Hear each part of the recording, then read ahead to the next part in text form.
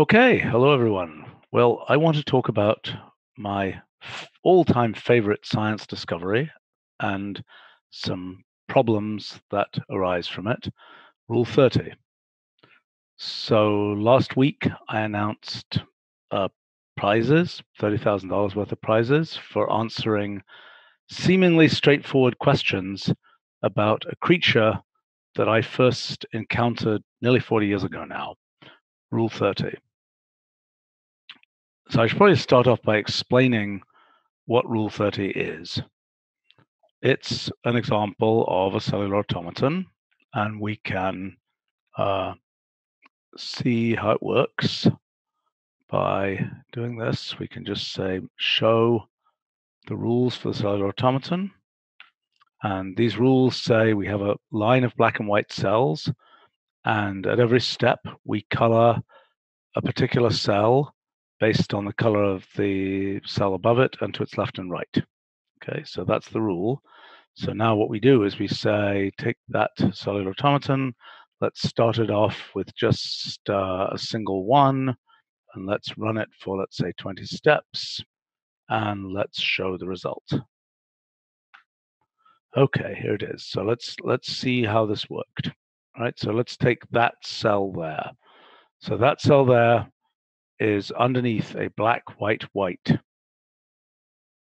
configuration. Black, white, white gives black, and so that's black. Let's look down here. That cell there that's white, above it is a black, black, black, gives white.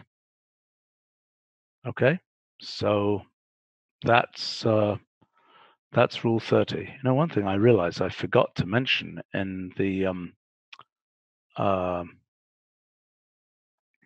in my explanation of Rule 30 here is what it is in terms of um, uh, Boolean algebra. So we can say, uh, if we think about these as bits, uh, trues and falses, we can say Boolean function, and this is a uh, three argument Boolean function. I think that goes like this. We say um, kth Boolean function in three variables. Okay, so there it is. So that's Boolean function. If we say make the truth table for that, well, actually, if we can just say make the rule plot for that, we'll see it's the exact same function. Now, what we could do if we want to is we say for this, so we can make that as a function of PQ and R, and we can say Boolean minimize and we might just do that by default. So there it is as ands and ors. Uh, and um, so the um, uh, the actual the minimal version of it uh, I can show you. It is a an OR and an XOR. Let's see whether we can actually get it to do that here. Um, we would say something like, let's see what happens if we say XOR here. Oops. Um, ah, dear, dear, dear. So this is what happens if I start exploring. I immediately um, start dealing with things that, um, oh, so ANF is what I want. Okay. So that's P XOR Q XOR R XOR Q and R. So that's another form for Rule 30. But um, uh, you can represent it in terms of, uh, you can represent this rule in terms of a Boolean function, and you're just applying that function over and over again here. Okay, so what would we like to know about this? Well, let's look at the center column of cells here. So let's, first of all, let's look at what happens if we run it a bit longer. Um, let's run it for 200 steps.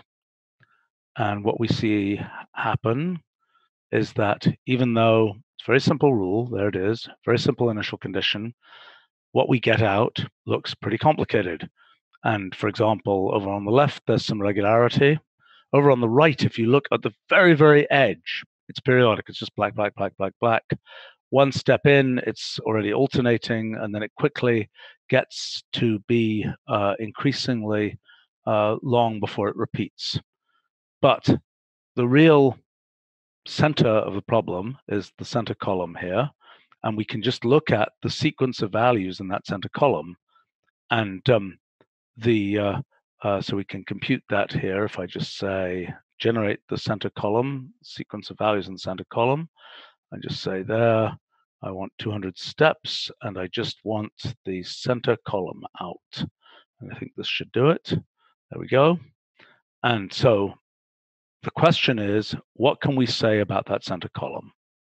And for example, let's generate, I don't know, let's generate 10,000 steps of the center column. And let's say C 10,000, let's say uh, C uh, 4 for 10 to the 4 is this. And um, then we could say, for example, let's just take uh, accumulate 2 times C4 minus 1. That will kind of give us a random walk. And then let's say list line plot of that. That will kind of show us every time there's a 1, it'll go up. Every time there's a, a, a minus 1, it'll go down. So that's showing us kind of a, a, a sign of the randomness of that center column. Or for example, we could just say make counts of C4 Let's compare the counts of ones and zeros. They seem roughly the same. Um, okay, so uh, what I have been curious about for a very long time is what can we actually prove about the center column of cells?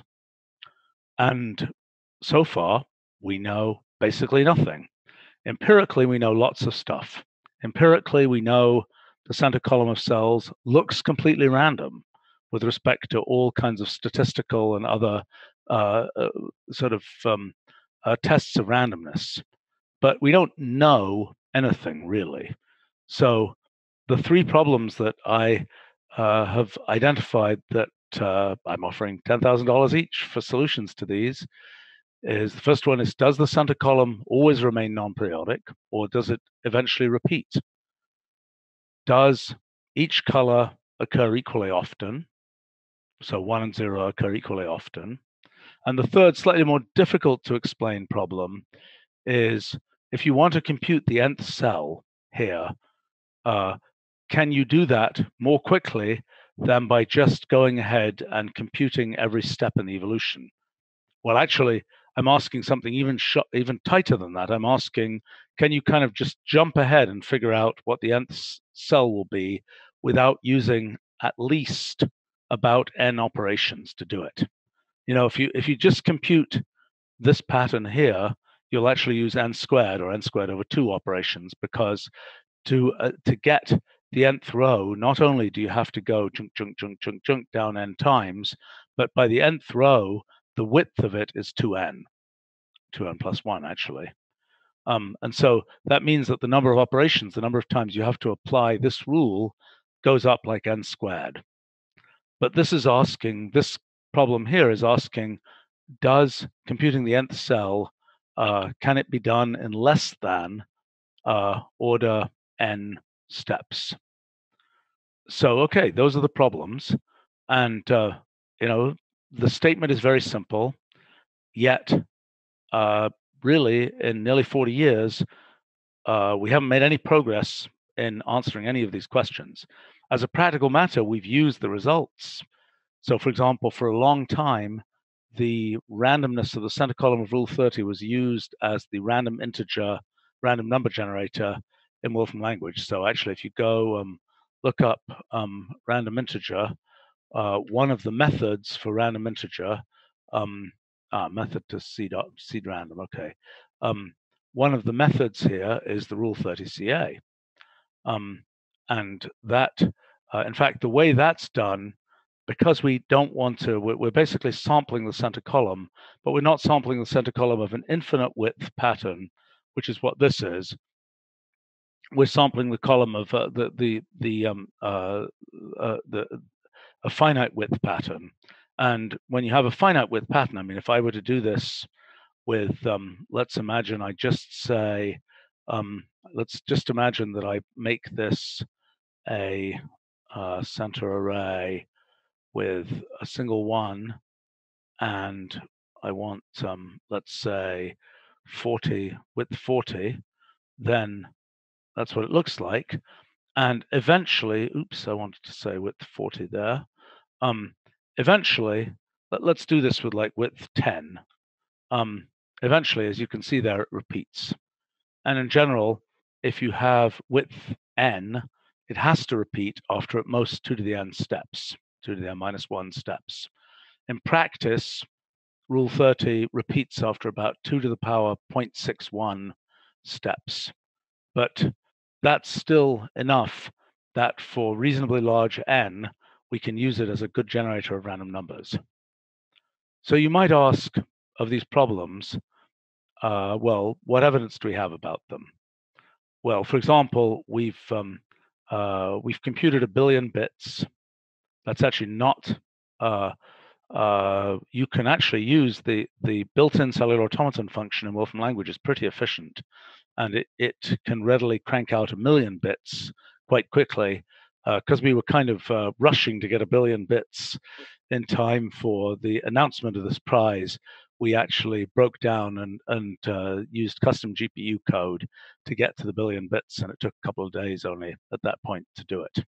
Um, but with a billion bits, we can start asking, uh, what can we say about um, what can we say about what happens with a billion bits? And um, uh, I should first of all say that the billion bits are available in um, uh, in our data repository. Um, it's just uh, resource data of this billion bits thing, so we can go ahead. It's probably going to be really slow. Let me do it with a million bits just to show you, um, just to show you kind of what happens.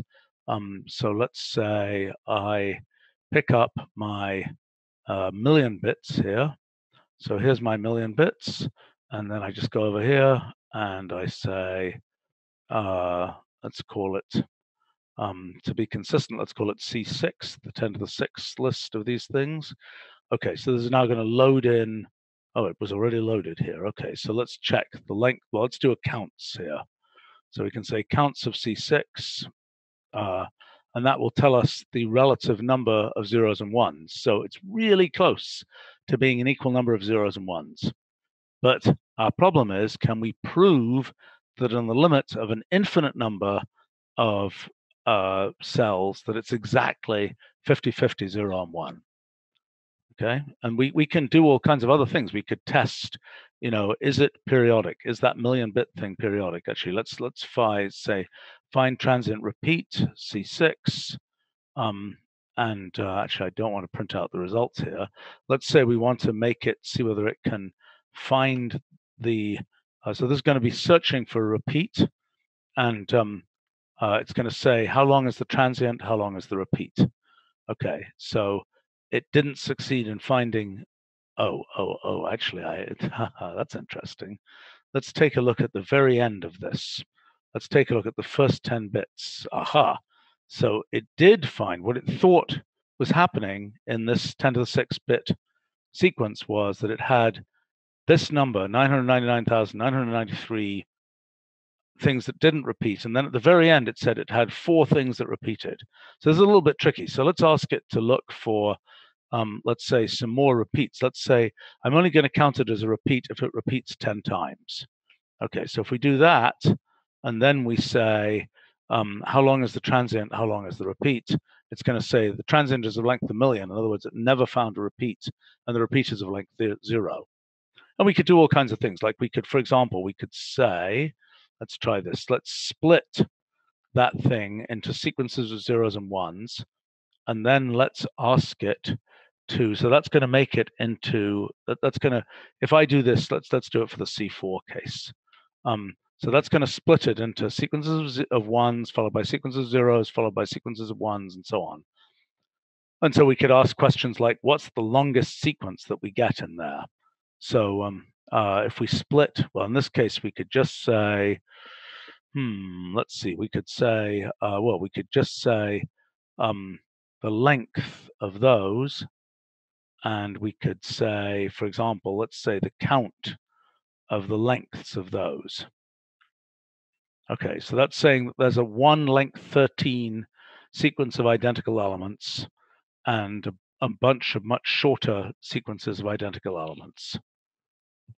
Hmm. And in fact, if we say, um, let's sort those, so that's saying uh, most often we have a sequence of length one, then about half the, that often we have a sequence of length two, and so on. Okay, so we can try all sorts of tests of randomness. Um, and uh, well, I've all the ones I've tried, it's passed. Actually, I think we have a nice collection of new tests for randomness. Um, if we look in our new function repository, um, we have a bunch of tests for randomness that have been provided there. Let's see if we can look for that. Um, assuming that the search is working well. Okay, there we go. So we've got things like spectral randomness test, run count randomness test, all kinds of um, run length randomness test, all sorts of um, uh, randomness tests, which actually should be run on. So, I mean, if we say, um, okay, so this is a sequence. So what we want to do is to run a chi-square test here. So this is now saying chi-square randomness test. Let's run it on C4. And it's going to have to load in the function. And it's going to tell us, okay, the p-value. So that's telling us the probability. Um, see what the interpretation is here. Um, okay, is and returns a p-value for whether it is random. Tests a sequence for equidistribution and returns the p-value. Um, so, or for example, we could try here. We could say, let's test. Let's do another one of these tests. Let's do um, let's do one one that might be interesting an arcsine law randomness test okay so same thing we can just run this and ask for whether how it does there oh wow um i don't actually know how to read that i mean i, I what we could do here okay so so that, that those are some examples of of what happens when we run randomness tests here let's ask for some analogies to this problem so one obvious analogy uh, we're asking, you know, how random is this sequence of bits? We could ask how random are the digits of pi?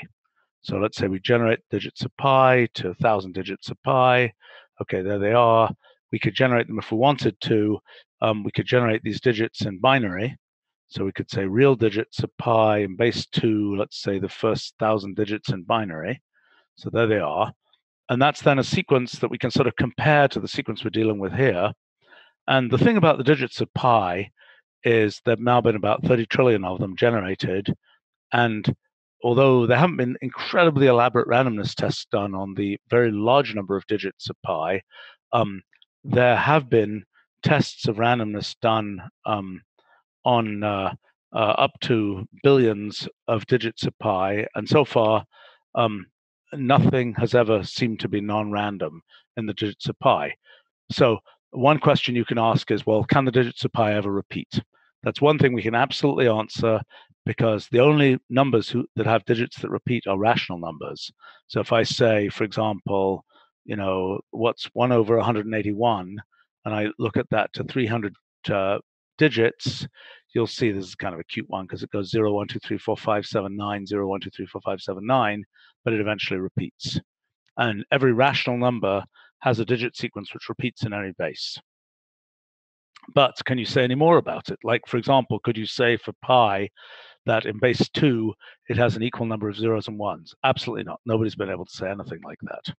Um, can you say um, uh, pretty much any other sort of statistical fact about the digits of pi? Nobody knows anything. And um, uh, so one question you can ask is, are there sort of things like naturally occurring numbers about which you can say anything? Well, there's kind of one class of examples. There's a thing called the Champernowne number, um, which is a number that let's let's look at what that is. If we look at it, um, if we just uh, look at let's say 200 digits of the Champernowne number. Oops, oh, I'm wrong here. I need to say what base I want to do this in. So let's say base 10. Okay, so that number goes point one, two, three, four, five, six, seven, eight, nine, one, zero, one, one, one, two, one, three, one, four, one, five, etc., etc., etc. So let's take a look at the digits of the base two Champernowne number, so it'll just be zeros and ones. Um, let's look at, okay, so we want the base two Champernowne number. Um, and uh, oh, let's see, what do we want to do here? We want to say digits in base two, let's say 100 digits in base two. Okay, so what we'll see is 1, 1, 0, 1, 1, uh, 1, 0, 0, 1, 0, 1. So it's the, it's the numbers in base two counting up. Okay, so if we now ask for, uh, let's see, we just want to get the first of this, so it's the mantissa of the thing. Um, we now can ask, for example, for counts of this. Um, and okay, well, that was because we didn't. Let's try going to 128. Ah, interesting. Very interesting. So we know that eventually the fraction of ones and zeros will converge. So actually, let's look at something. I'm now curious. Um, we can either compute this from the Champernowne number, or we could just say uh, generate integer digits of n base 2, and let's make a table of integer digits base 10 uh, going up to n goes to, let's say, 2 to the, um, let's just say 2 to the 8. Um, and then I want to flatten this out, and that will give us a bunch of digits here. And now I could say I could do that same counts thing. So that's this is now claimed to be something. Wow, that's pretty weird, actually. This should be a number that has the property that every digit occurs with equal frequency eventually. So let's take a look at how that works. So what we're going to do, let, let's just look at the successive ratios. Actually, we could go ahead and look here at that same thing we computed before, two times that thing minus one, accumulate it, and do a list, list line plot. Um,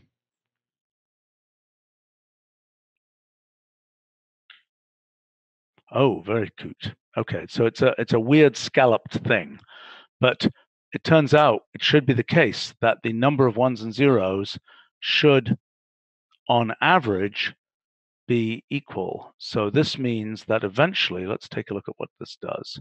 So let's go out to 10 to the 10. Humphrey hump, what am I doing wrong? Well, it better be the case that oh, maybe I'm, am I doing something wrong here? This is an example of a so-called normal number, which has the property that every block of ones and zeros should occur with equal frequency. But I think the issue here is that I've got it's prejudiced towards ones because the leading digit of each of these uh, is is always a one. So if I say rest here, I think we'll get a very different result yeah, there we get a result which keeps on.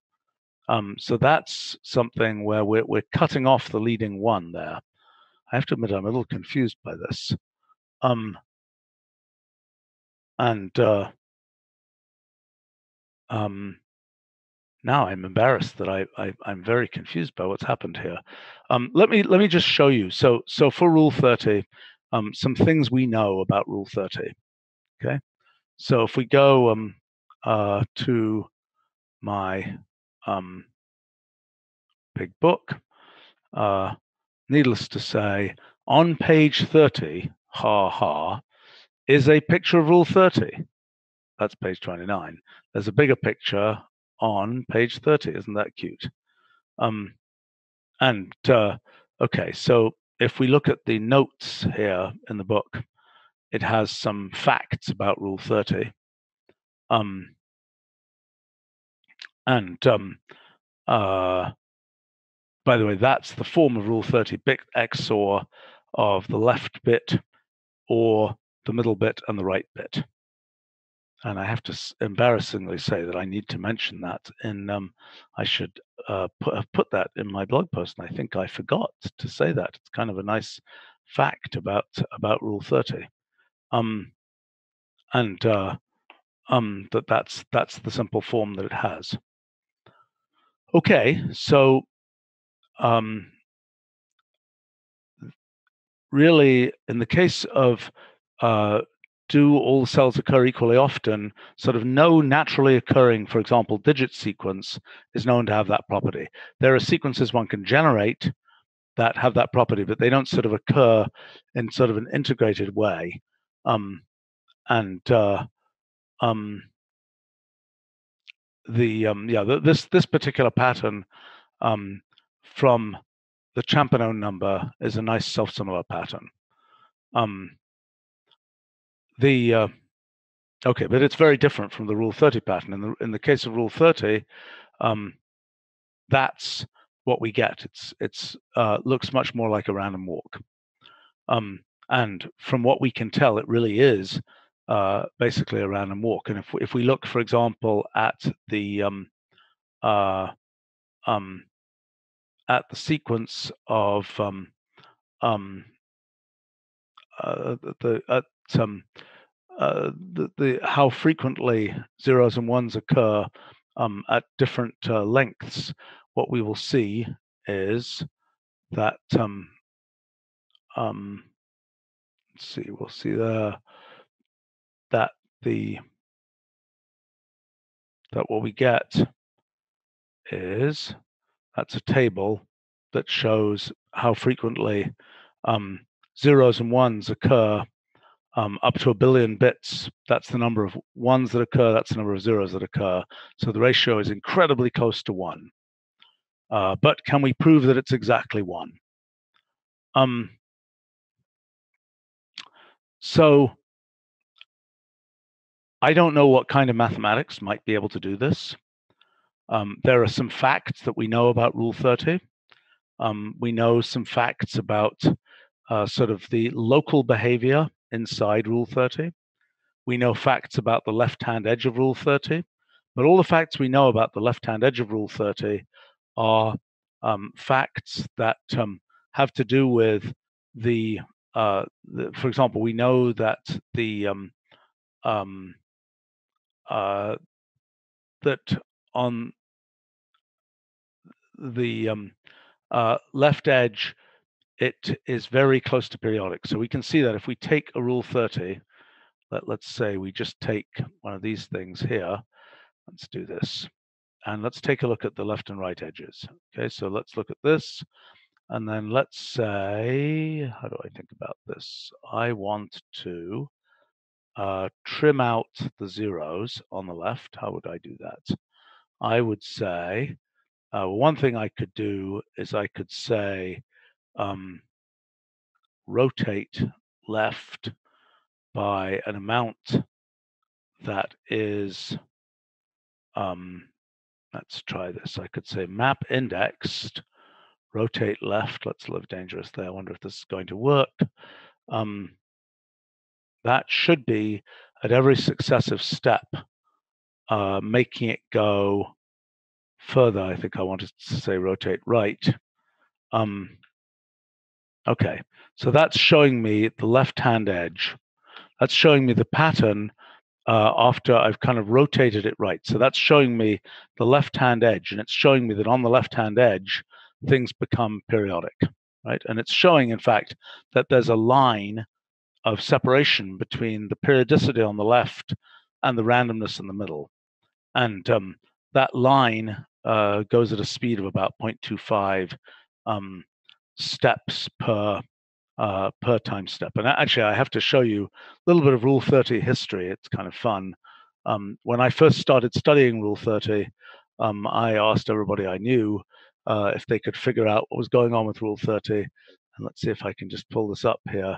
Um, one um, uh, one person who um, uh, had um, interesting things to say was a physicist named Dick Feynman. That's a picture of me with him, but this is, oops, that's not what I wanted. I wanted to go down to those. This is, um, these are some notes uh, that Dick Feynman made trying to, trying to compute the rate, this was back in 1984, um, trying to compute the, uh, uh, the rate of the wiggling of that line between sort of order and chaos. I mean, if we look up at one of these pictures here. Let me make a bigger picture of this. If we make, for example, a, um, let's make a picture with, um, let's make one with a thousand cells across. Okay, so here, if I make it a bit bigger, you can probably see there maybe just about, you can see this kind of line between sort of order on the left and chaos on the right. And that line has kind of a random walk, but it's not an unbiased random walk that equally goes left or right. It's a biased random walk that goes about 0.25 cells per time step to the left. And uh, there's a little argument that one can give that uh, that Dick Feynman worked out. If you assume certain kinds of randomness on the part of this pattern, then you can predict using what's called mean field theory in, in physics, in statistical physics, that the uh, random walk should be biased by exactly a quarter of a cell per step. And so I think this is, um, uh, but it turns out it's not exactly that. And this was a sort of attempt to um, to compute what it really was. And I think, yeah, Dick Feynman was a good calculator. I can't do any of these kinds of uh, working out by hand, but that's um, that's computing after several steps. That's computing the sort of probabilistic estimate of what you should get. And I think that's um, that's another one of these probabilistic estimates of how the Rule 30 um, uh, random walk should go um, as uh, um, uh, as as a function of um, um, um, uh, as a uh, as uh, as as it goes down the page. You know, I was thinking of making a, a little scrapbook of um, uh, of Rule 30 because I realized that, um, and I know I need to put this. Um, I know I need to put this in the scrapbook. Okay, so that's a little bit, that's kind of um, some of what I wanted to say. I mean, there's Rule 30 has shown up in all kinds of funky places. Like, for example, one of the fun ones recently was um, uh, this train station in Cambridge, England, that has uh, metal plates that are in that um, arrangement. And turns out that arrangement, um, as a zoom in of the photograph, that arrangement is exactly the right hand side of Rule 30, this kind of diagonal image of it. It's kind of fun. So um, that's that's uh, that's what that train station pattern. I haven't yet seen this thing in the flesh. I, uh, eventually, I'll I'll visit Cambridge, England, and I'll see the the metal Rule 30. Um, but uh, so you know, when it comes to these problems, the um, it's really very unclear how to approach them. One could, we can talk about some different approaches one might take. Um, I think one of the things that's a conceptual question is, uh, could they ever? Is there any way these these questions might not have answers? Is there any way that there might just be no way to answer these questions? Well, it would be exotic, but it is conceivable. Um, and uh, the the main way that it could fail to be answerable is well these are questions about sort of infinite behavior and whenever you have a question about infinite behavior you have to use kind of theorem proving methods or you have to prove theorems you can't just say well well I, I, let me qualify that for example for problem one if it turns out that after a quadrillion steps, rule 30 suddenly becomes periodic, the center column suddenly becomes periodic, then you could just compute a quadrillion steps and know that that happened. So, for example, the way that could work is let's say this, this random walk here, suddenly things conspire in such a way that the random walk no longer goes off to the left, but starts walking chunk, chunk, chunk over the center. And eventually this, this uh, repetitive behavior on the left hand side takes over the whole pattern. I think it's extremely unlikely that would happen, but it's not impossible. We can't prove that that doesn't happen. So, one thing we could do is just compute long enough that we can actually see it happening, and then we've got our answer. Now, there are, but in most cases, there's no explicit computation that would answer one of these questions. So instead we have to have a proof. We have to have something where we start from axioms and we say from these axioms we can deduce like euclid deduce things in geometry. We can deduce what's true. And so one of the bad things that could happen is we think we know some reasonable axioms for mathematics for example the axioms of arithmetic on arithmetic or the axioms of set theory things like this but it could conceivably be the case that this is a mathematical question that just doesn't have a definitive answer based on the axioms that we normally use uh, in in mathematics. So that's a way that the that the answer to one of these questions could be, well, uh, it depends what axioms for mathematics you use, what the answer is, which is a very weird possibility. But it means you just can't reach. We don't have a way to prove from axioms. It doesn't say that uh, uh, it, it, it's, it's just saying we can't reach it using methods of mathematics. Okay, so questions. So someone is asking on the live stream, do I have a guess how much time will pass before any of the questions get an answer? You know, it's funny. Somebody who works with me just sent me email like five minutes before this this um uh, uh, this live stream started, saying he thinks that maybe he's got a way to answer. Let's see, which problem is it? Uh, it's either number one or two. I'm not convinced, but um, uh, let me see. It's um, so you know it is conceivable there might be um, a a quick answer. I'll be very surprised. My guess is that the first question does it does it ever become periodic? That that's the easiest of these to answer. Um, we know, for example, that no pair of columns can ever become periodic. No pair of, uh, of adjacent columns can ever become periodic, and that's kind of a that's actually a fairly easy thing to prove. Um, and that's kind of a you know so it's like we're we're homing in, and we can prove that not only can no pair of columns ever become periodic, a single column and sparse other cells to the left or right of it, that combined thing can never become periodic. So I think that this is kind of within sight. I mean, this could be this problem one could be cracked in a month if we're lucky.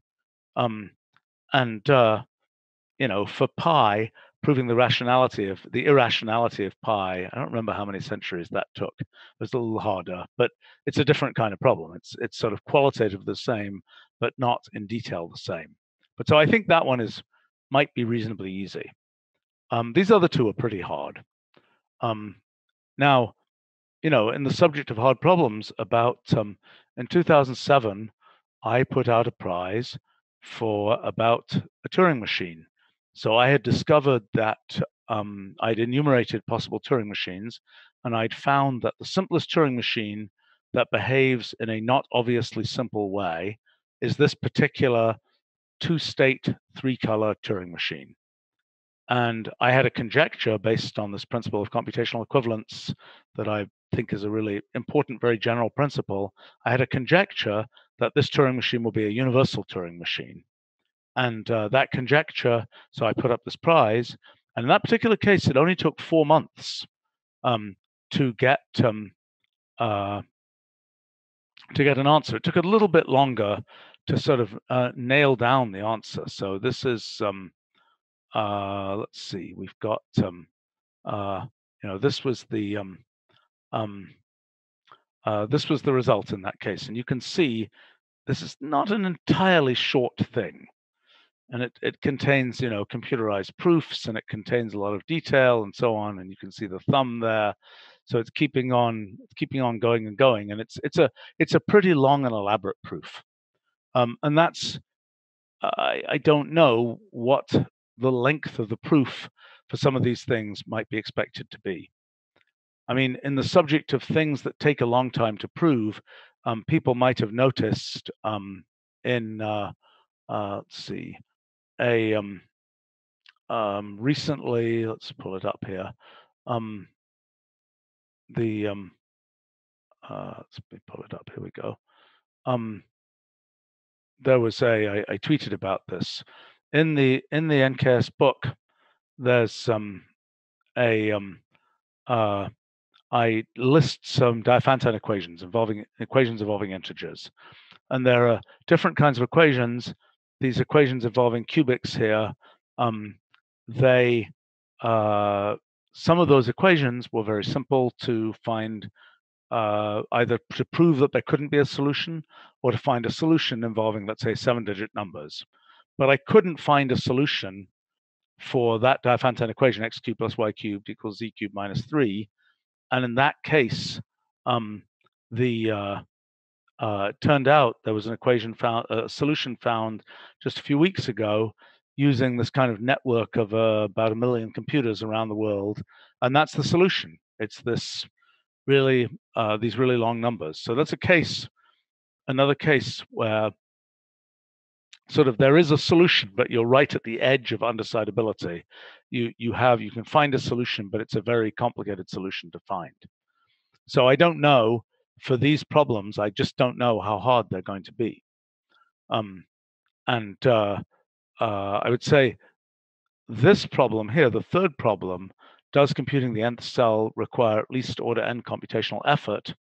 Um, that's one where we can start discussing, you know, how would one, um, uh, how would one um, hmm, even think about formulating that question? And for example, one thing we could say is, well, let's ask, is there any Turing machine that we can construct that will successfully compute uh, the the nth bit in the sequence without going through at least order n steps.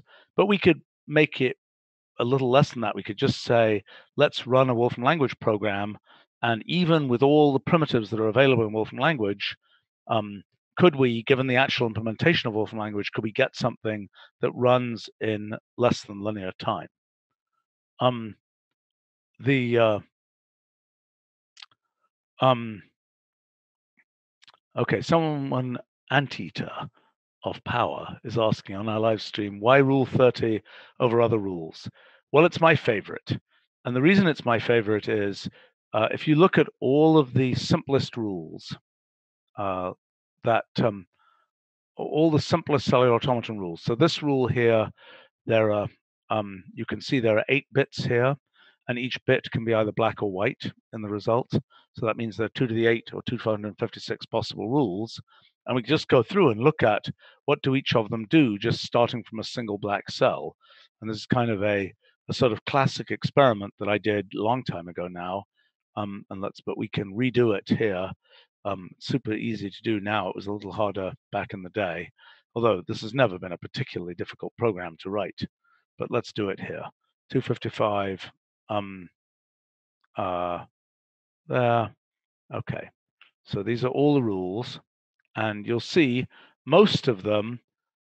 Uh, it's not difficult to answer the question, what do they do? I mean, some of them make nested patterns, but rule 30 is the first of the rules where just starting from a single black cell, the behavior is complicated and seemingly random. Another example is Rule 45.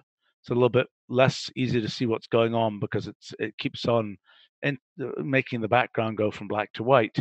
But if we look at Rule 45, we'll see the same phenomenon of the center column being apparently random. My guess is whatever methods work for Rule 30 will also work for Rule 45 we can keep going. Another one that's that's kind of cool and um, has uh, uh, complicated behavior is Rule 73. Here, here, are things that are just essentially mirror reflections of Rule 30 and um, black-white inversions of these rules and things like this.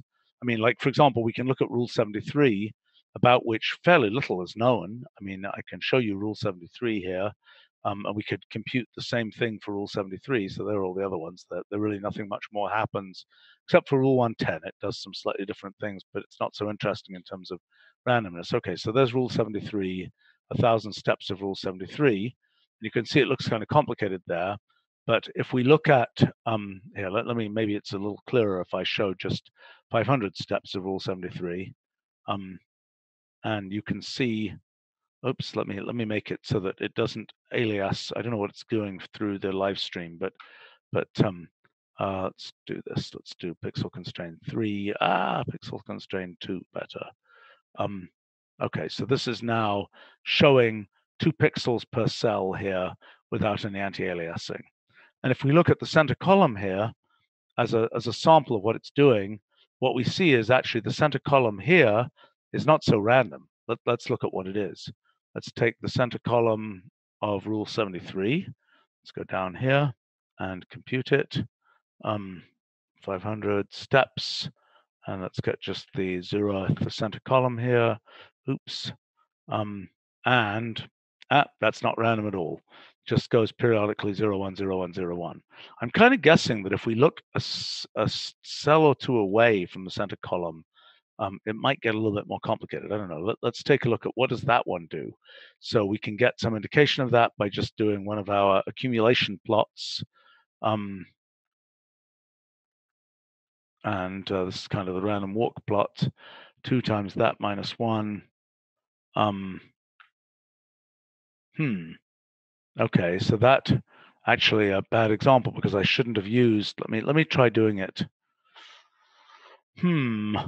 Well, what this is showing is that there certainly isn't. Um, I don't know what I'm going to see if I just look at that sequence. I've got zeros and ones pretty far separated here. Um, but uh, let's take a look here. If I just do accounts on this, um, then okay, I've got four times as many zeros as ones.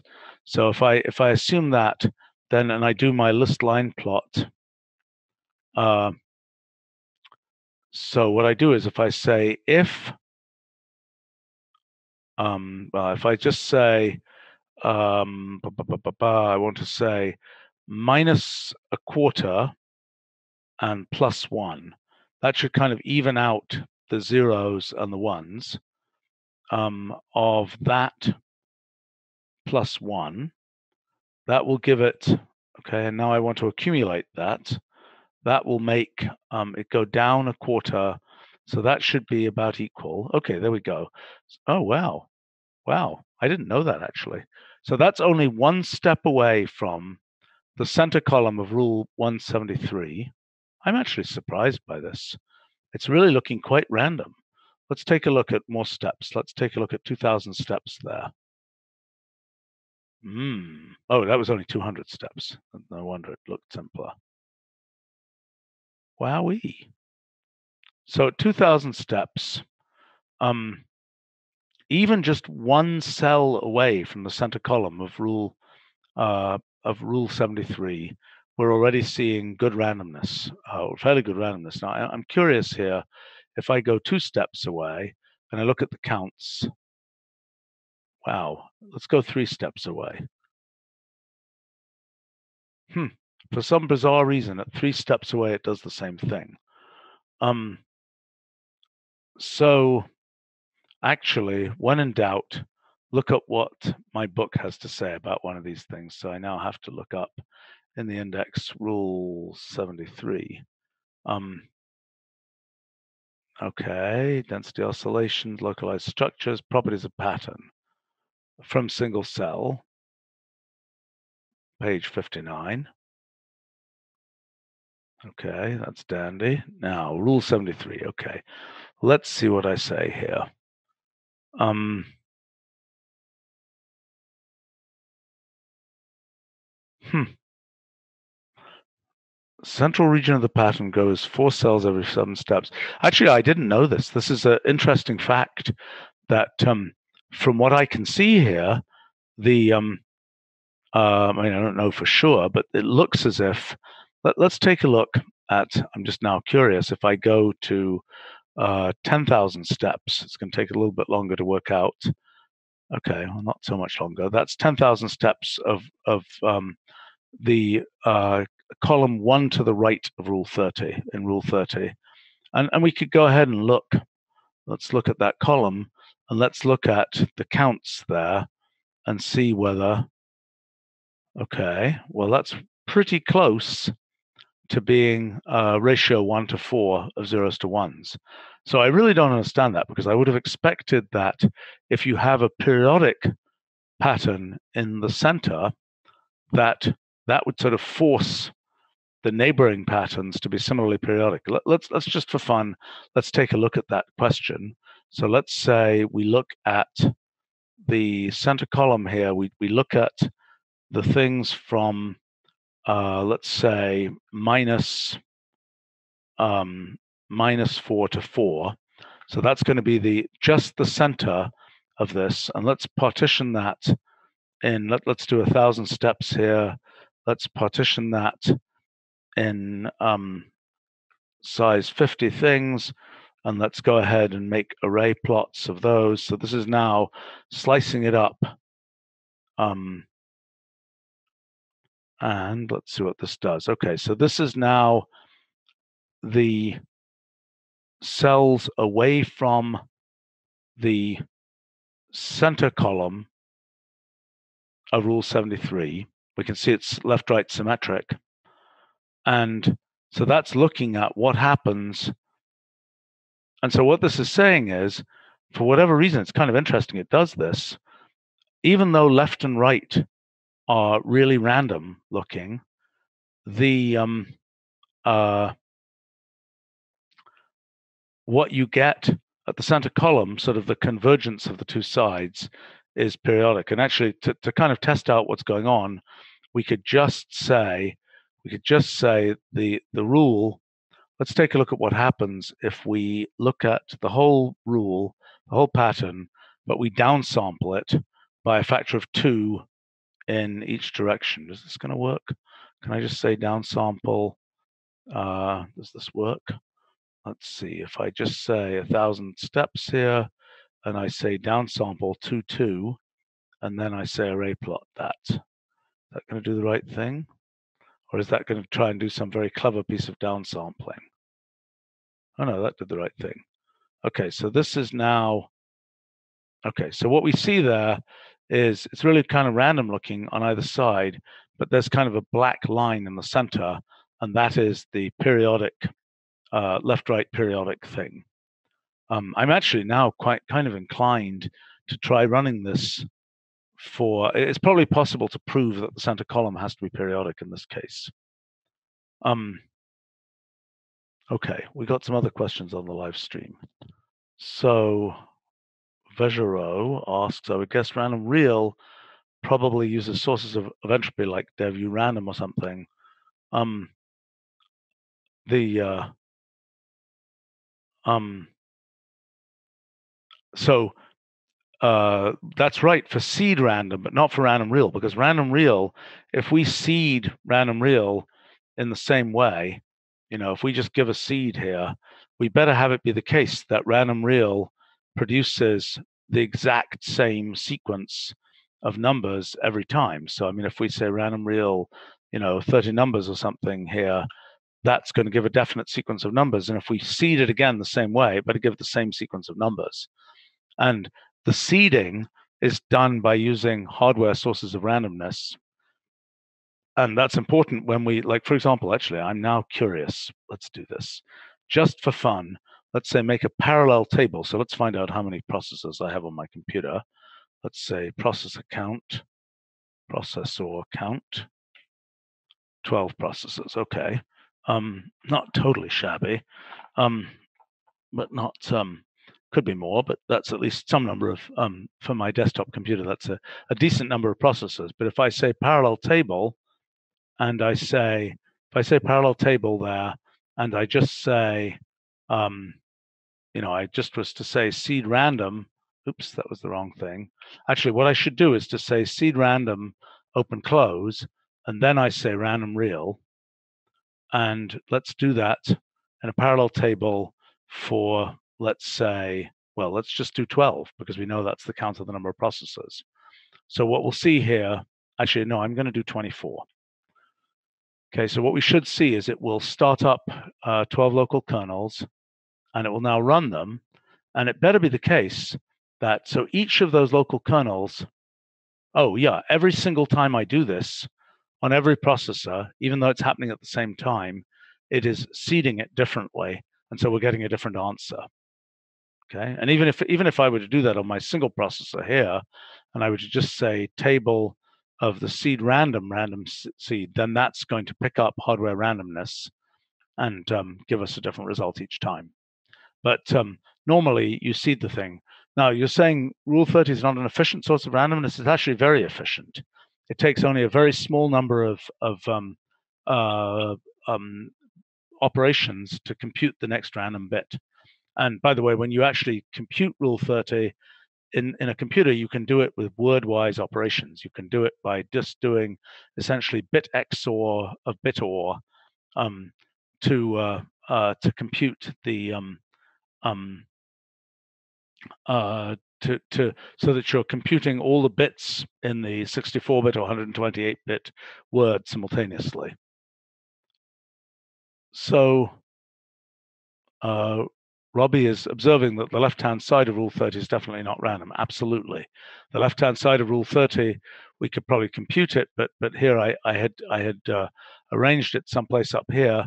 That's showing the um, that's showing how it becomes periodic, and um, uh, the period increases. It it um, uh, it stays period two for a long time, then it jumps to period three, I think, and so on. Um, in fact, we could we could go ahead and compute that if we want to. We could just say, uh, let me think about this for a second. How would I do this? I would take um, um, I would take this and um, I would say instead of rotating right, um, I think if what I did here was to say take, um, yeah, I want to take the things that are all, comma, and then in this case, I want to take 100. I think this is right. That should give me, oops, if I didn't have this wrong. Um, that should give me, if I flatten it out, that should give me the bits uh, right uh, by the center column, I think. And so if I were to take this, oh no, no, I, I'm sorry, I think it's 200, right? Is that right? No. So what I've got to do is take this thing here and I've got to sample it. Um,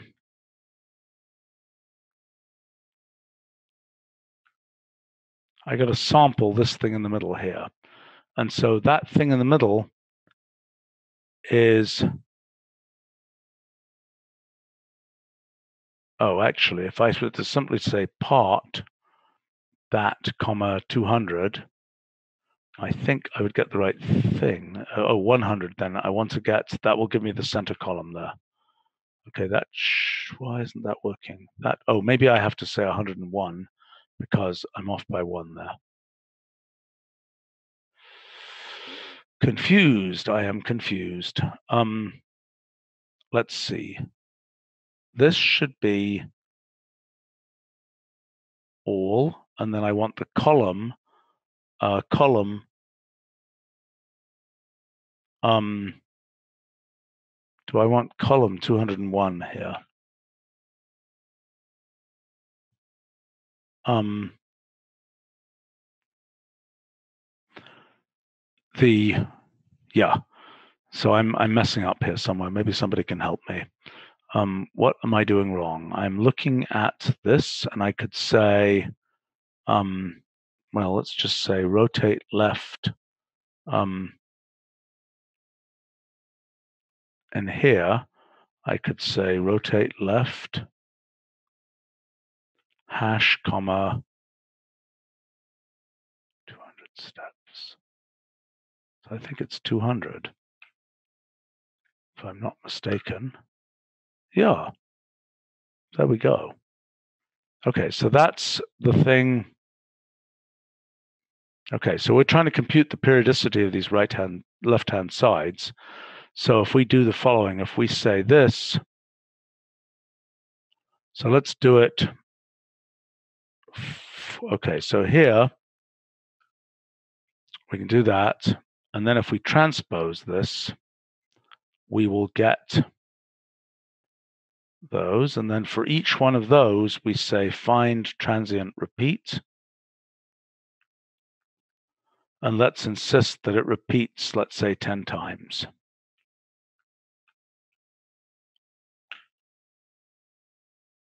Oh, and then let's say uh, length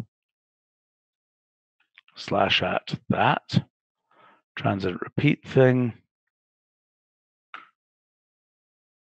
Okay. So this is showing us at the beginning there, those are the periods. So that's saying there's a transient of 23 steps. it's probably something up here, and then those second things there are the periods.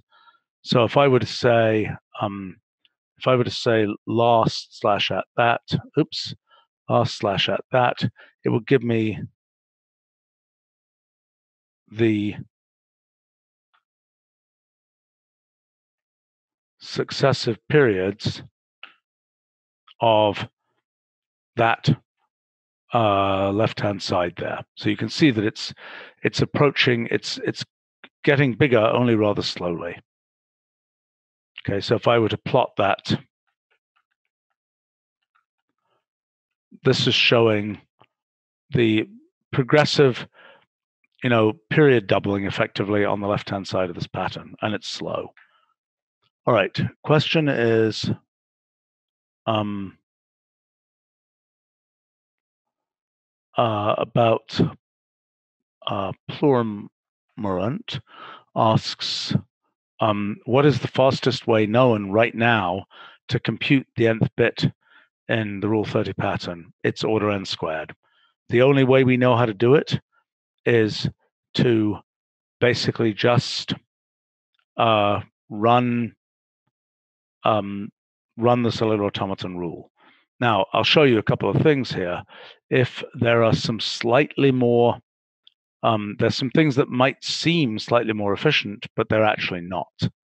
So, for instance, if we look at uh, the thing as a Boolean function, we can say, let's combine together the Boolean functions at successive steps. So, at the first step, the Boolean function that we're using is given by a three-term Boolean function as we have successive steps. So for instance, I was showing you at the very, very beginning here, um, and I, as I mentioned, you know, rule 30 is, let's go down here, I think I had it here.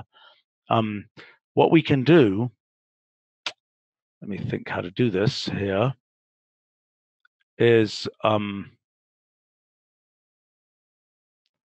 Uh, so that's that's the uh, Boolean expression that we get in, uh, I think this is in disjunctive normal form um, of ands of ors. So we can, if we say traditional form of this, it'll um, show it as, as ands of ors of nots. Well, it's actually ors of ands.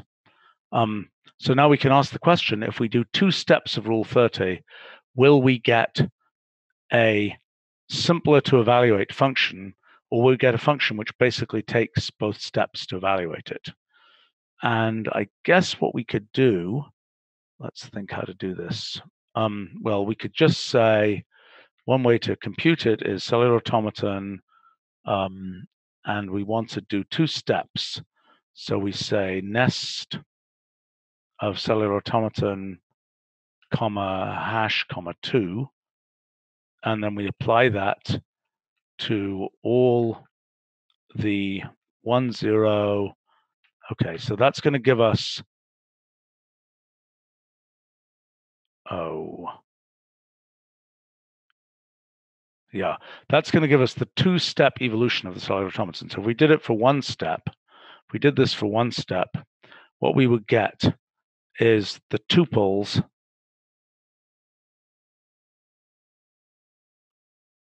actually, there's a better way to do this. I'm being silly. Yeah, I'm being silly. The best best way to do this is to just apply the cellular automaton to for for let, let's if we did it for one step and then we just showed the center cell, then this would give us uh, that what the heck? Oh, oh yeah, yeah, yeah, yeah, yeah yeah, I have to say, show us just the thing after one step. Okay. And I think I might be able to get it to automatically flatten if I do this. Yes, okay. So that should be, if I look at rule 30, that should be the rule plot. Actually, if I say, yeah, rule plot of rule 30, that should be,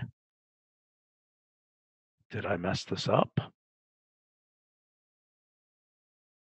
That's not encouraging. Um, what did I do wrong here? That's applying Rule 30.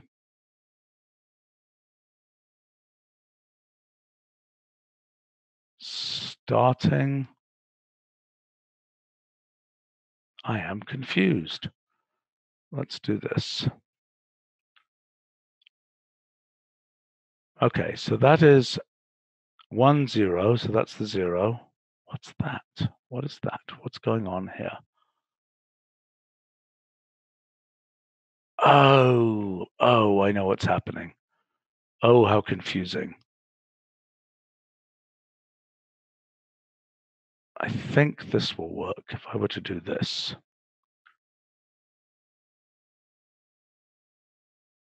No. I'm not sure what's happening here because what I'm what I thought I was getting was the result. Okay, so if I do this, I get all those things. And then I think I, I thought I was just saying cellular automaton 30 applied to all of those is the evolution of each of these things. So, oh, that's right. 0, 0, 0, 1, 1, 1, 1, 0. Okay, what am I doing wrong here? I'm not sure what I'm doing wrong here. But anyway, if I were to do this and I were to say um, part of that, comma, all, comma, 2, I would get the that cellular automaton rule. Now, if I want to go two steps, I just say 5 here, and I say 3 here. And unfortunately, I have to say nest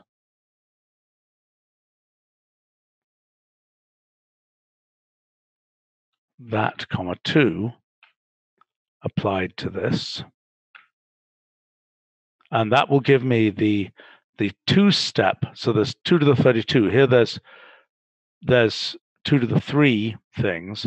So if I convert that to from digits comma 2, that will give me the Boolean function that is, so that Boolean function, Boolean function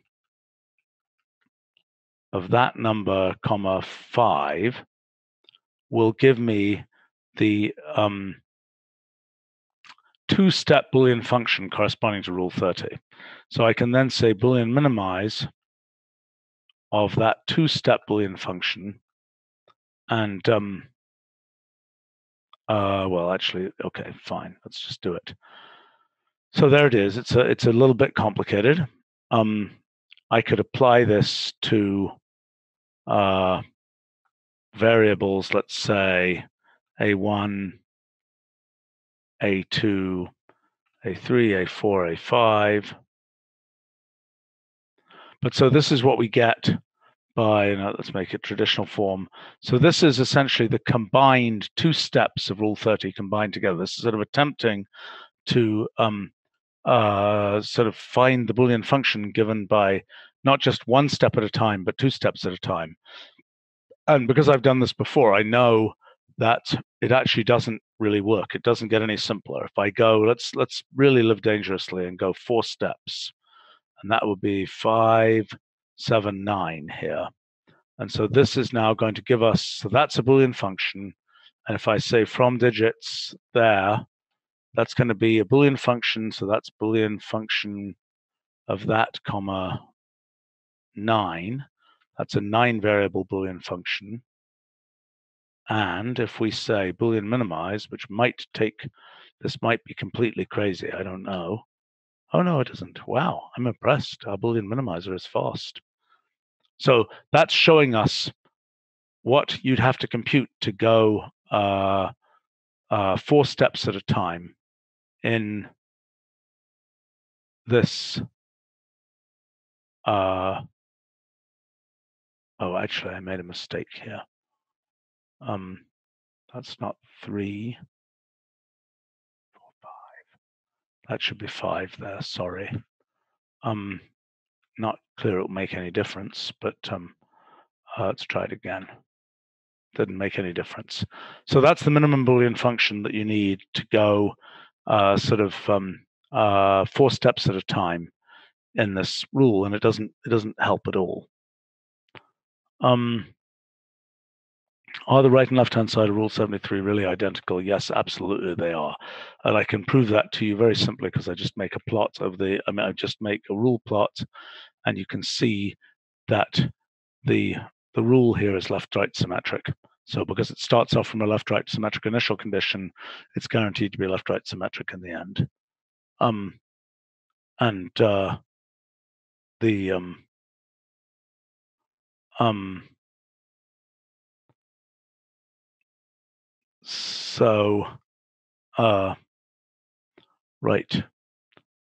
Well, let's see. Any other questions or comments? I think we had some previous questions that came in um, that was sent in previously, which I could take a look at here.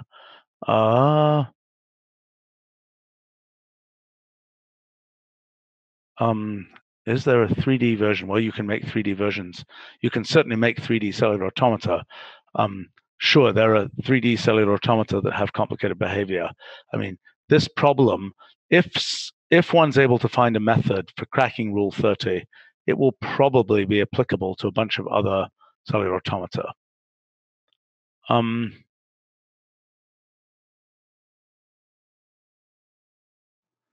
yeah, so Mr. D on uh, was commenting that um, on the right-hand edge, the periods increase rapidly. We could do the exact same analysis that I did on the left-hand edge, on the right-hand edge, and yes, they increase rapidly, which means that that's kind of a suggestion that by the time you get in to the uh, here we have these comments.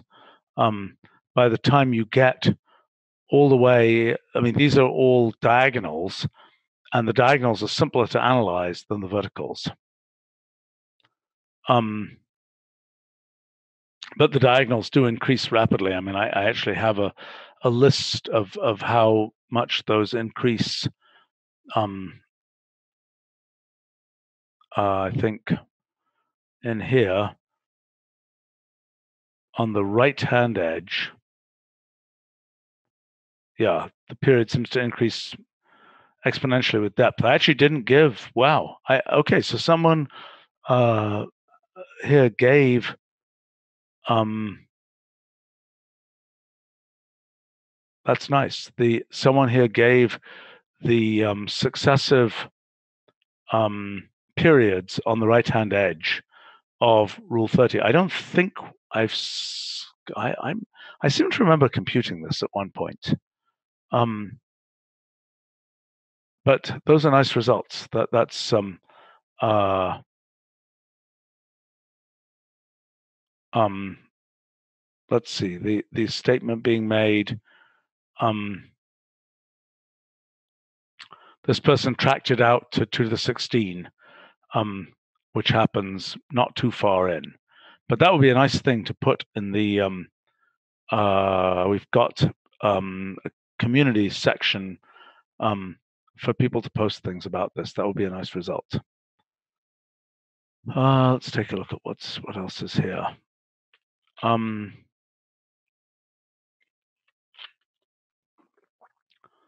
okay. Uh, we're asking questions about what it means for something to be random. Well, yes, if you talk about algorithmic randomness, that is, what's the shortest program to compute the sequence, then Rule 30, the Rule 30 sequence is definitively not random because there is a very short program to compute it. It's just the program that runs Rule 30. That's a short to state program. Just actually running the program may take a long time, but the program is short to state. So it's not algorithmically random we we don't know whether there are algorithmically random things that sort of our universe can generate. Um, but uh, uh, sort of a an important mystery about the universe is whether it is capable of generating algorithmic randomness, or whether somehow, if we only knew how to do it, we could sort of compute everything in the universe just like we compute something like digits of pi or the center column of Rule 30.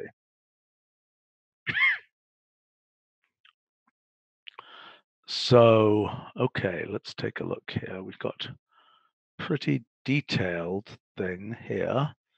Um, okay, so uh, Craig on our on our comments has pointed out that certainly the whole of Rule 30 isn't a random raster. Absolutely there are absolutely correlations between, you know, if we generate a Rule 30 pattern, uh, how many Rule 30 patterns am I going to generate tonight? Um, let's just generate one here. Um, I'm going to get much faster at typing this particular thing.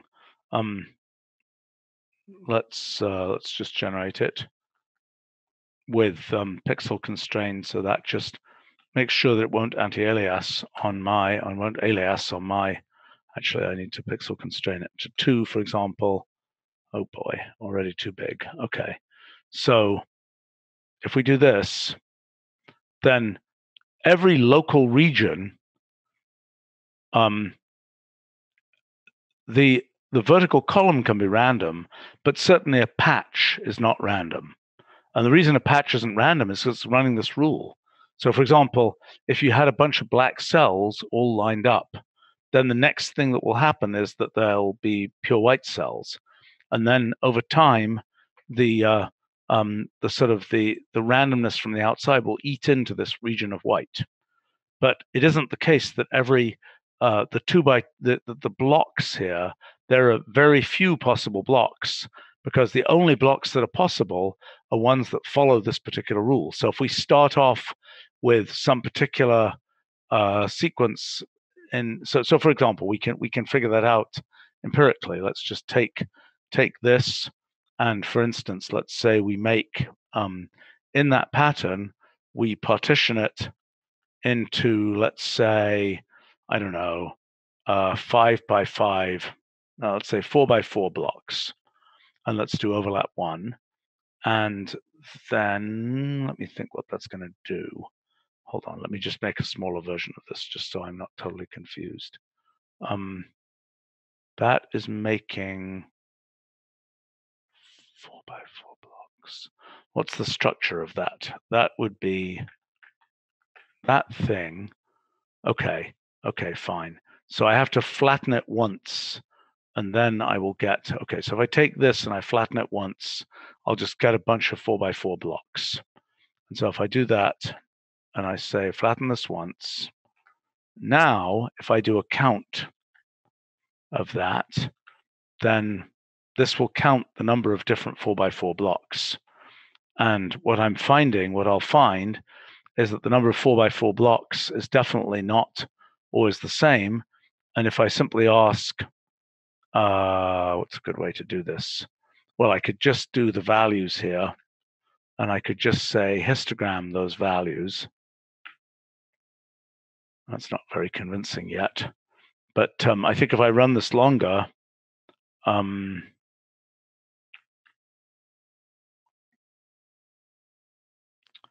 uh, well, actually, let me do the following. Let's let's do let's say counts here, and let's just ask how many 4x4 blocks occur with non-zero frequency.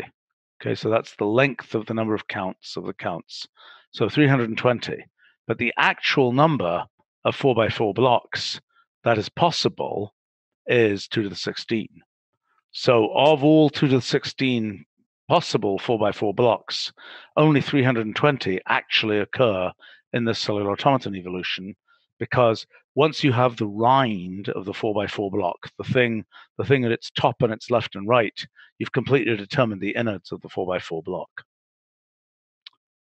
Uh, okay, let's see.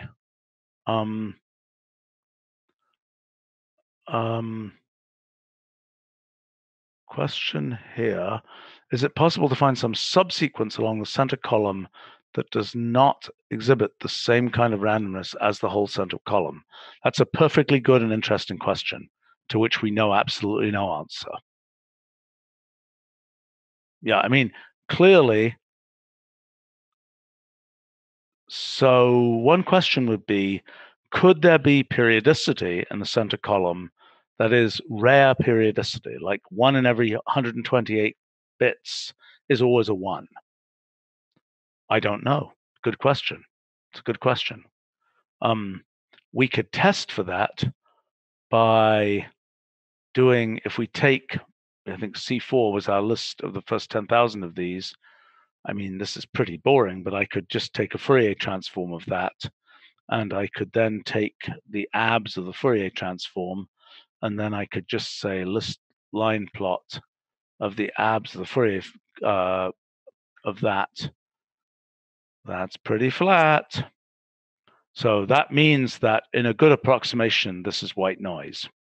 So what that means is if, if for example, every 15 cells was suddenly uh, a um, um, you know uh, suddenly had uh, um, was more probable to be black, for example, then this would show definite structure. So, for example, if we do this, I know um, uh, if we take, for example, uh, if if we look at rule 110, okay, so if we look at rule 110, uh, starting off from a random initial condition, so random integer, uh, let's say 400 steps, let's say 500 down, and let's do an array plot here. Um, this has the feature that its background has some definite periodicity. So if we did that same test here on um, uh, on this, we could just say, oh, I don't know, let, us just take all of them. Let's just flatten the whole thing out just for just for the hell of it. Um, and then let's do that same Fourier transform. So let's take this thing, let's flatten everything out. So we're just taking every successive column.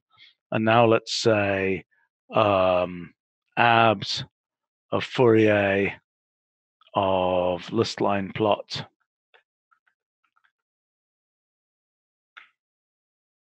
and oh great. Okay let's make this a bit smaller. Let's say 100 by I don't know let's just do 100 by 100 okay so what we're seeing here look at all that structure. What we're seeing here is all kinds of structure that's reflecting um, in particular I think there's a period 14 uh, behavior here which we're seeing as, and I, I suspect if we do this, if we say plot range to all, okay, we're seeing a very big peak down there, and we're seeing these uh, these successive peaks here, which reflect the periodicity that we're seeing in that pattern there. Okay. Um, yeah, the the IG plan IG Igblan is suggesting building a lookup table like one does in HashLife, for example. That won't work here. The point is that in Game of Life, uh, most possible uh, configurations of cells do not occur because most of the time, I mean, if we make a typical, you know, let, let's say we just do an evolution here, we say Game of Life, and then we say random integer uh, let's say one, and then let's say let's make a I don't know 300 by 300 field of random things, and then let's evolve that for let's say 200 steps. Okay, so this is going to give us a big thing. Let's see what happens. Okay, so that's a big thing, and now I think if we do image 3D here, we might see something reasonable. Yeah, look at that. Isn't that cool? Okay, so let's make it bigger. And what we should see here Look at that. There's some. Uh, well, actually, let me let me go and go ahead and do this. Let's say do it for 500 steps, and then let me make that whole thing into an image 3D. Um, and then, of course, it's going to take longer. Okay, so that's the game of life evolving in 3D. So we're showing it in space time, right? And what you see down here still not really okay what you see down there at the bottom you see a bunch of gliders running around that's what those uh, streamer things are but you see most of the time it's evolved to some fixed things and most of the uh, most of the field is just white. So most of the blocks the n by n blocks of cells do not occur. So that means the entropy of um, uh, is is low and that means that it is a big win to say, well, don't bother to evolve that n by n block of cells. Um, we can just know that an n by n block of zeros stays zero. The problem in Rule 30 is you'll never get a speed up from doing that because every possible um, uh, not n by n block, but every possible block of length n in the pattern, when we when we have a pattern like this, uh, in the horizontal uh, thing, we can uh, the it is a we don't know for sure, but it appears that every possible block occurs, and in fact with equal frequency. We know if we start the thing off from a random initial condition, where every possible block occurs with equal frequency in the initial condition, then the same is true at every time step in the evolution of the system. Um, okay. So, yeah, so so the hash life trick won't work. Um, let's see. Is it an inherent property of two-dimensional cellular automata that they have uh, low entropy like that? No, it's not. You can have perfectly well. You can um, uh, when you when you generate. I mean, if I just were to generate a random sequence of, um, uh, let's say I do this. I just say, um, let's say I generate, um, let's say I say random integer. Oh well, I, would have to generate, you know what, the best thing to do is look at the documentation for cellular automaton because it'll show me how to do this. Um, and I say, let's say multidimensional rules. Um, here's a typical cellular automaton after 30 steps.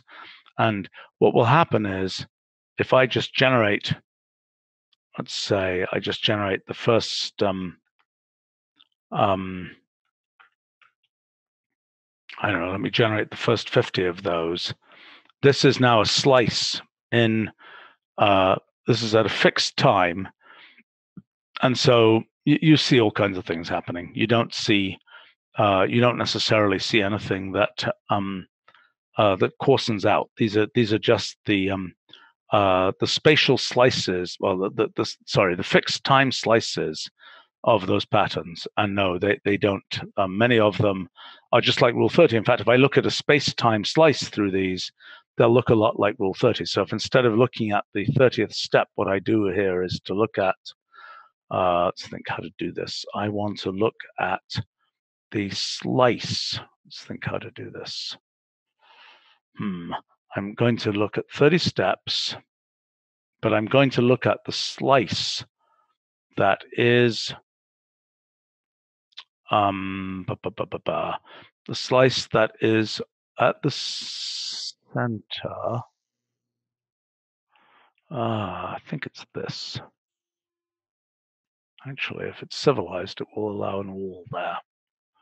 Let's see whether this works. So let's say we take this and we make that rule 42 or something, just for good measure. Oh, wow. I think that should work. I'm surprised that doesn't work. If it doesn't work, it should work. Oh. Let's see what happens if I do this.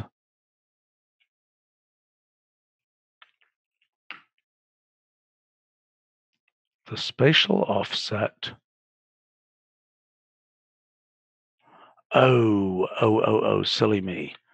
Okay, so I think it might be this followed by all.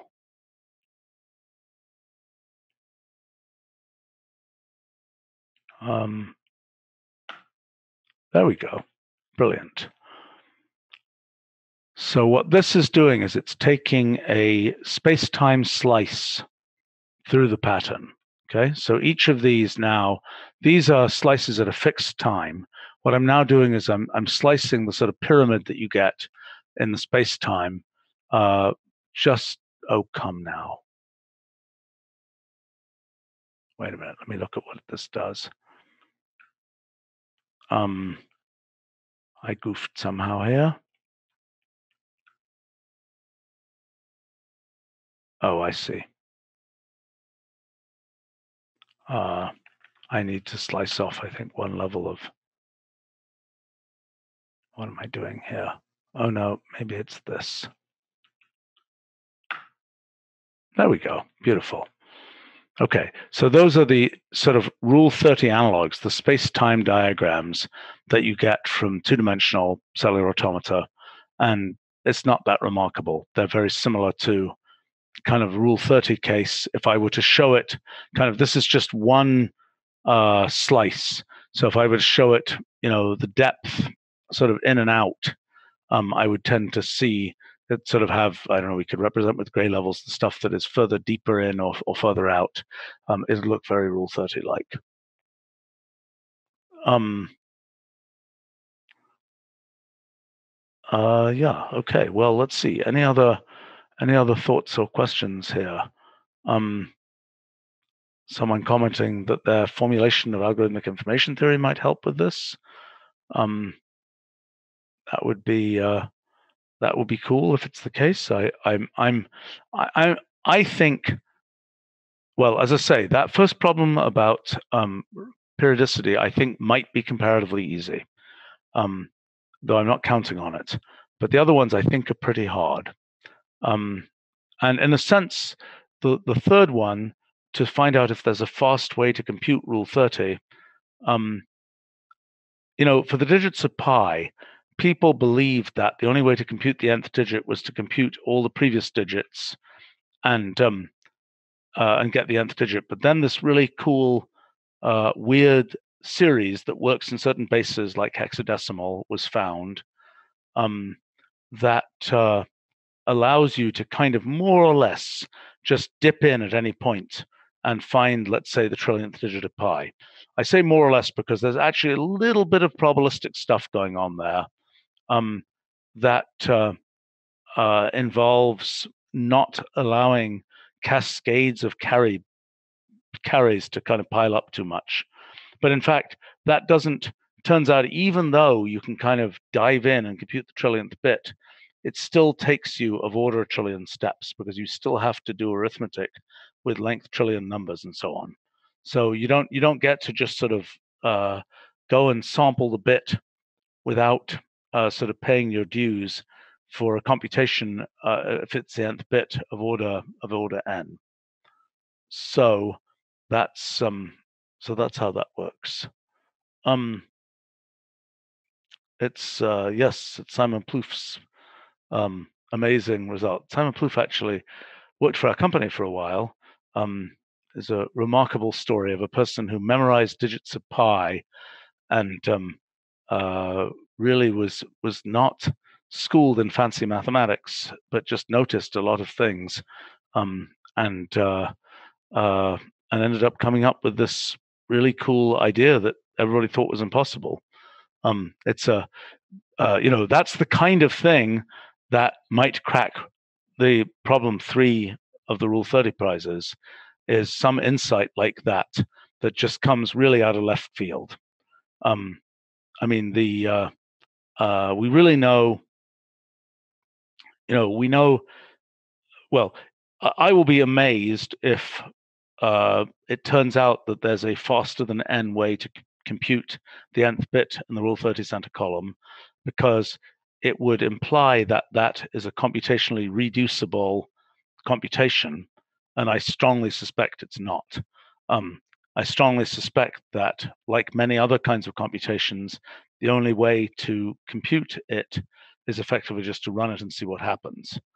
Um, but we know very few examples of things that sort of look random but are faster to compute than uh, um, than just evaluating each step and seeing what happens. I mean, clearly, if we have something like um, uh, let's say we have something like this, um, you know, we can pretty easily go through and say here, oh, we can compute the value of the uh, of any bit in this pattern uh, much more efficiently than by uh, going and um, um, and just uh, uh, computing down to that level in the pattern, essentially what happens in this case, well, let me show you a simpler case.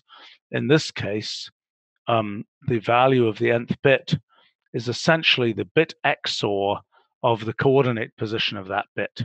So if I were to compute the bit XOR of, um, so let's say it's i and x and y, and I were to make a table of the bit XOR, actually what I want to do is I want to say table of bit XOR.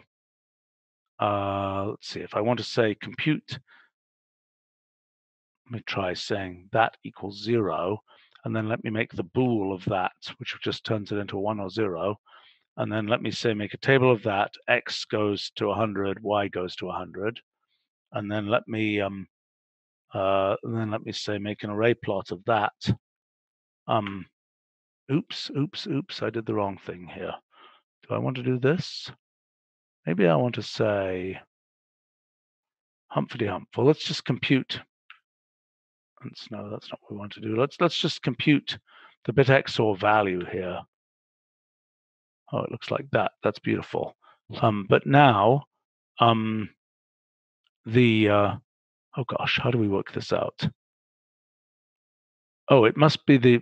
Oh, I know what it is. I know what it is. It's the digits of that if we say integer digits of that in so we're counting the digits of that in base 2 and then we say bool of odd q of total of that he says which i could also do by um,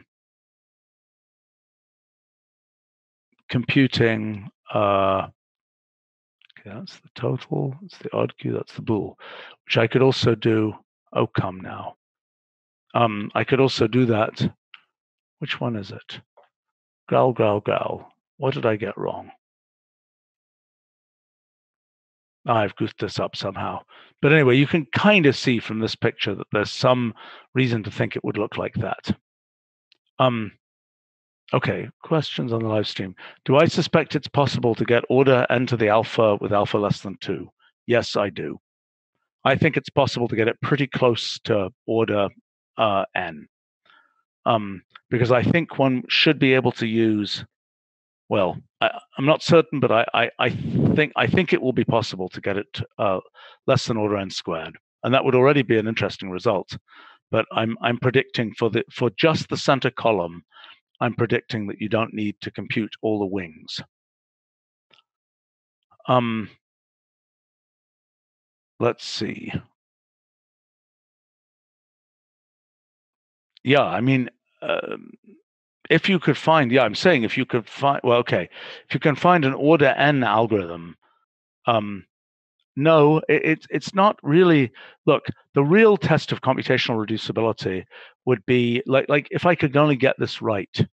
Um, let's think how to do this. This is. Am I just getting the function wrong here? Let's just take a look. Am I just confused here? Is it the bit or of those? No. Come on now. I know it's one of these. I'm going to be reduced to looking in my own book for this. Ah, well, uh, okay. When in doubt, look in the NKS book. Um, and let me just take a look here. Uh, um, methods for generating pattern from.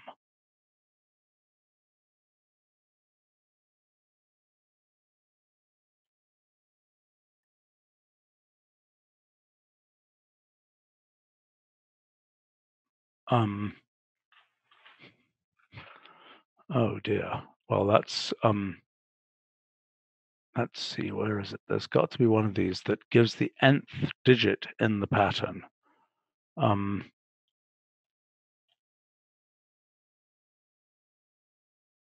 oh, there it is. There it is. It's the bit and. Let's just take a look here. See, I knew if I did enough of these, Okay, now what it's saying is it's the bit and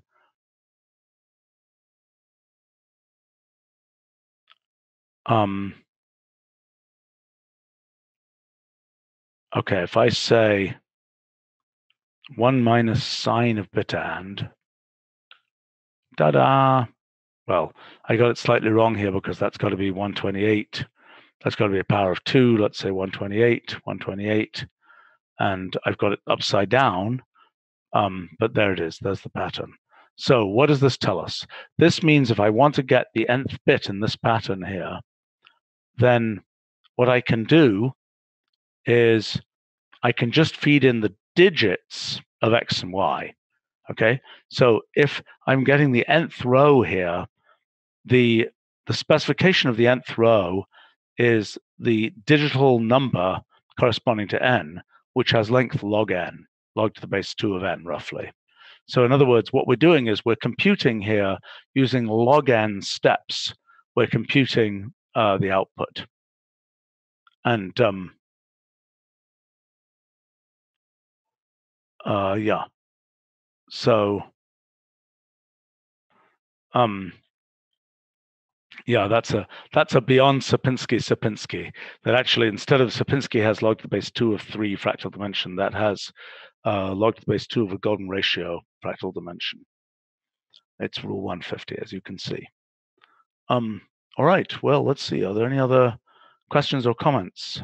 And um, um, I'm really looking forward to seeing what people produce as an analysis of um, um, uh, uh, of these problems. And um, I'm really hoping that we'll see the, a repeat of what happened with the Turing Machine Prize in 2007, and it'll only be a few months before somebody uh, gets a result. I, I should emphasize um, the um, uh, uh, the the um, um, what happens. Um, you know, I should emphasize that I'll be amazed if there is a really simple uh, uh, proof of any of these results. I mean, in in uh, other than yeah, I'll be amazed. Um, I think uh, um, yeah, Brian is asking, are there known cases of cellular automata generating true randomness? Depends what you mean by true randomness. Any anything where the randomness is generated by rules, uh, it's not, quotes, true in the sense of algorithmic randomness, in the sense that you can always figure out what the bits are going to be just by running the rule.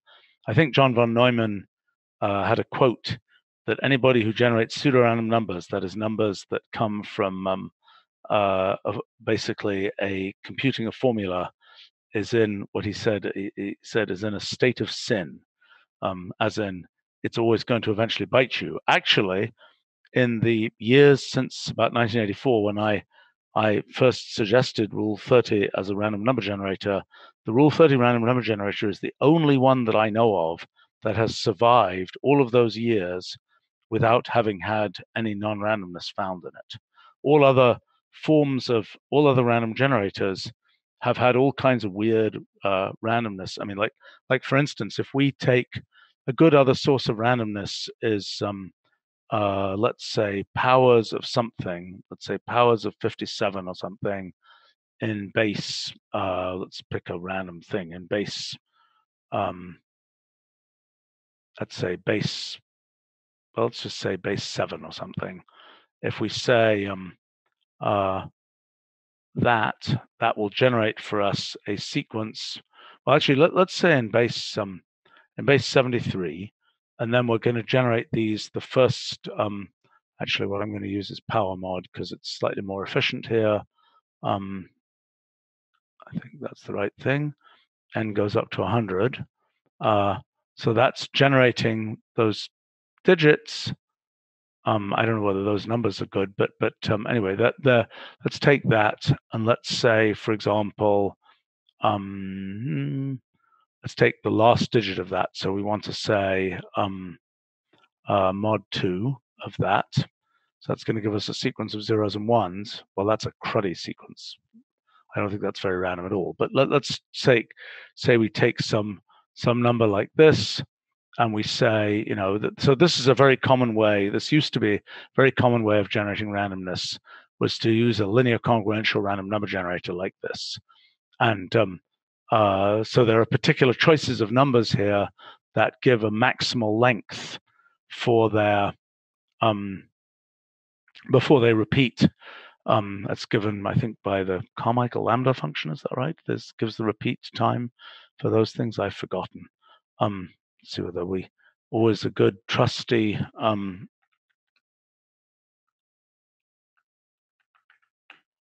uh, linear congruential generators. Um,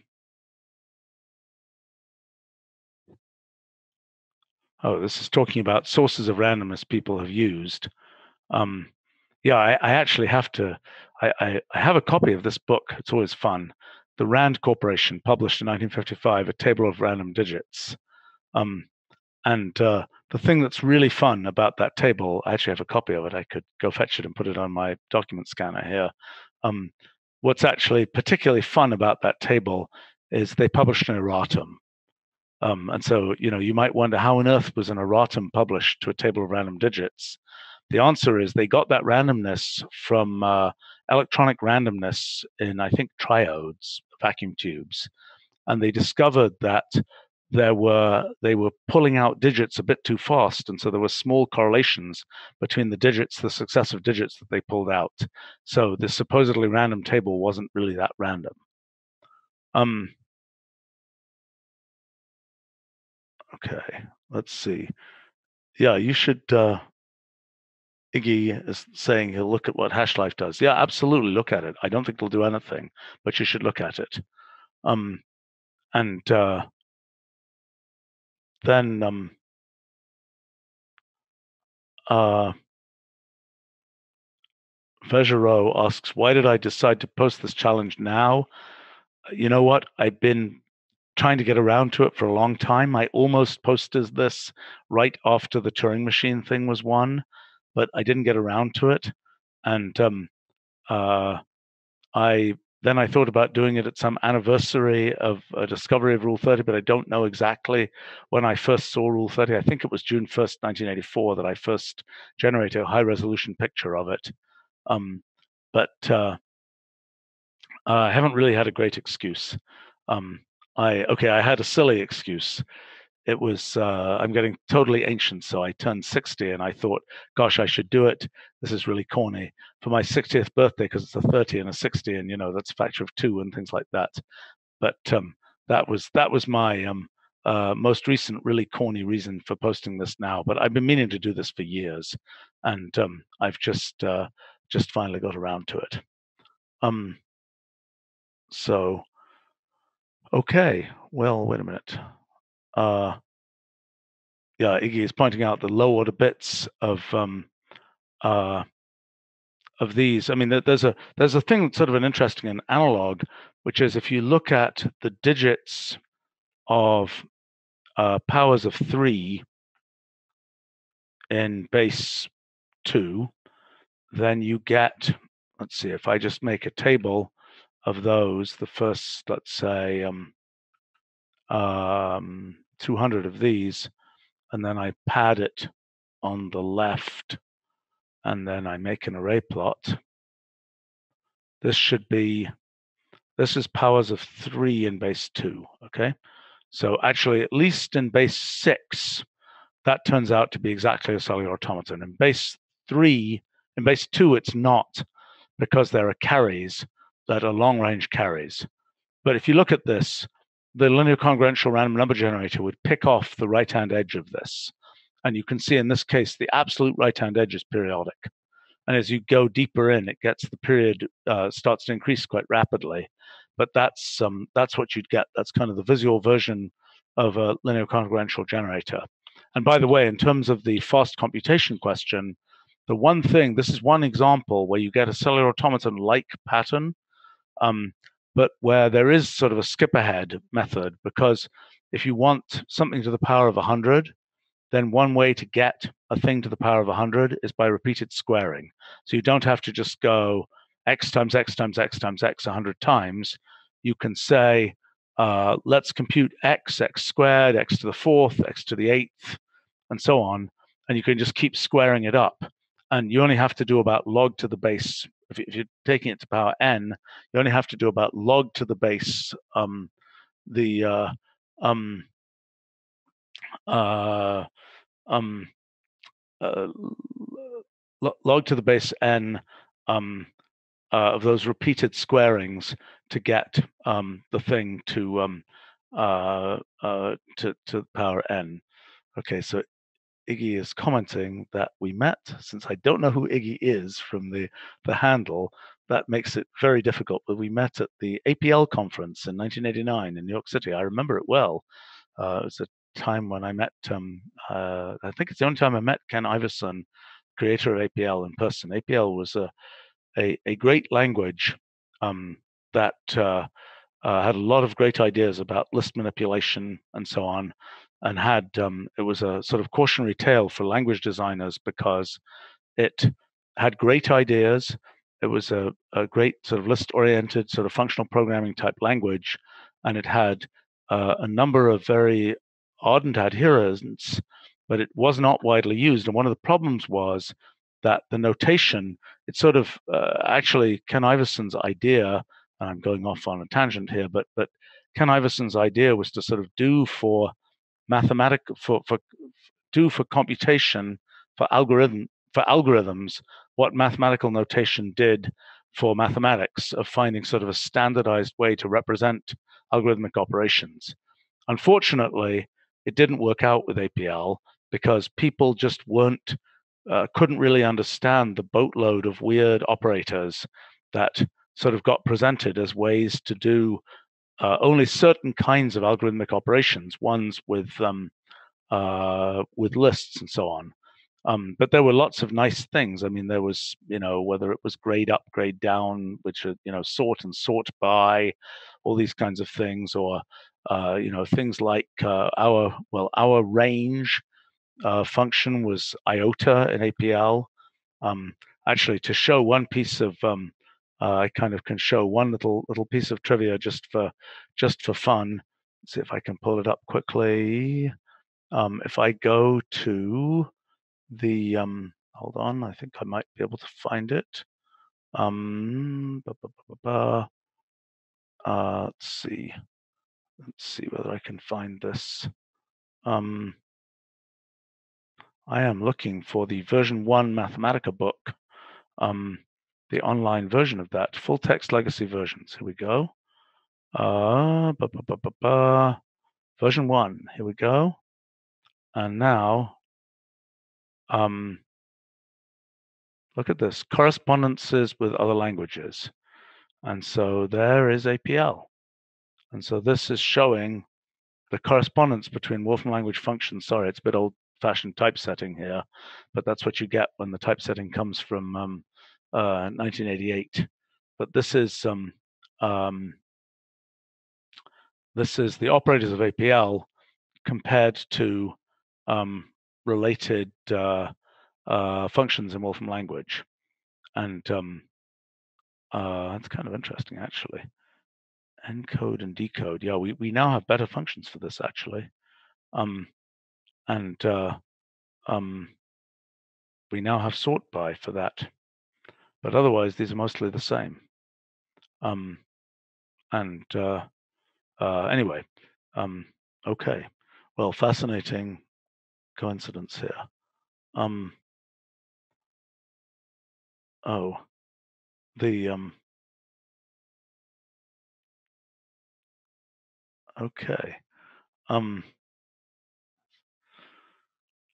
Uh, okay, well, we're getting off onto other topics, and I think this is turning into a general AMA, which I think is is probably not the order of the evening. Um, but uh, uh, there's a question of how did I choose the delimiters for Wolfram language? They actually came from uh, my uh, earlier system, SMP, um, where I chose uh, square brackets to represent functions because I wanted to really have parentheses do their sort of mathematical, their standard mathematical grouping operation. And I figured that it was clearer to have square brackets.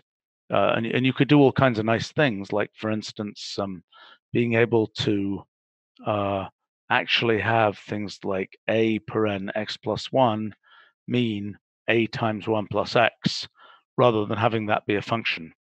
And um, uh, that was that was why um, I wanted to use parentheses to very clearly de- designate grouping and square brackets to designate um, um, uh, functions. All right, I think we should wrap up for the evening. I thank you all very much. Lots of fun stuff here. And um, go figure out why Rule 30 does what it does. Go solve these problems. This is, um, uh, and um, I want to spend my $30,000. This is a great use of $30,000. Um, I'm, uh, I'm enthusiastic to, uh, uh, I have to tell you, when I, when, um, when Alex Smith kind of um, uh, won our Turing Machine Prize, I was um, uh, it was the happiest, uh, one of the happiest uses, perhaps perhaps the single happiest use of twenty five thousand dollars I've ever had. So um, let's repeat that in ten thousand dollar increments for the Rule thirty prizes. Okay, well, uh, uh, thank you all for your participation, and uh, well, don't know where you in the world you are, but it's good night from me at least. Thanks a lot.